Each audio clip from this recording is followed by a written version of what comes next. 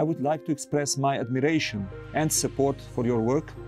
and the valuable contribution you are making by bringing the debate on sustainable solutions in heavy industries to the highest international level.